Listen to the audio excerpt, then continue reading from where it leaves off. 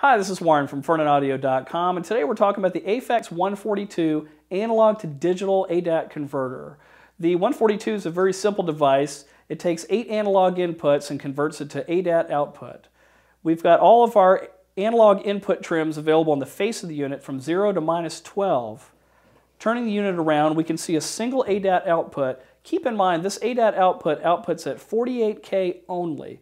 You don't have a selectable sample rate. It won't do double ADAT. Um, so keep that in mind. If you're already working at that rate, you're good to go. And of course, this integrates perfectly. It is in originally intended for Aphex's digital snake system. We've got uh, analog inputs, which are standard Tascam pinout, uh, DB25. We have these cables available, or we can build anything that you need.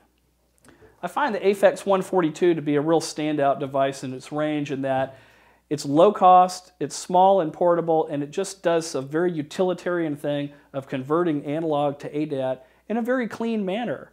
Its original intent was for the Aphex Snake system. However, most of the sales we've had have been from people using it with their 002 and 003 and other ADAT input devices. Keep in mind that it's only going to output at 48K.